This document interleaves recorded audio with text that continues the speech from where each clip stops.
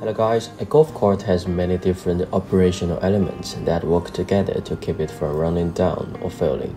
For example, there are a handful of micro switches throughout the build of a golf cart that help to control certain elements and send the proper electric signals to various elements of your golf cart. So it is important to understand what these switches do on a golf cart and understand what may happen if they fail to prevent any concerns from impacting your riding. Microswitches are not an uncommon part of many types of electronic devices, and they are very prominent in many electric golf carts because they provide a myriad of operational benefits that keep them running smoothly.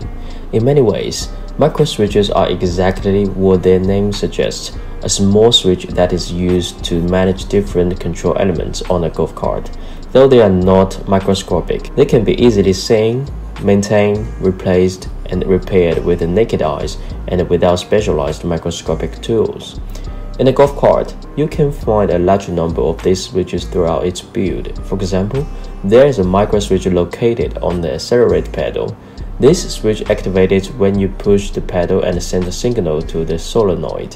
When this happens, your golf cart knows that you are ready to accelerate and will send more power to wheels and to get them to move.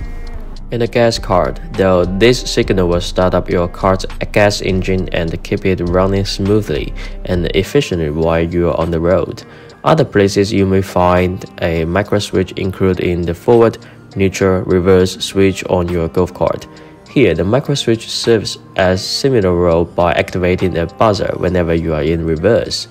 If you want to know more about details, please contact us through the following website and email below. Thank you for watching.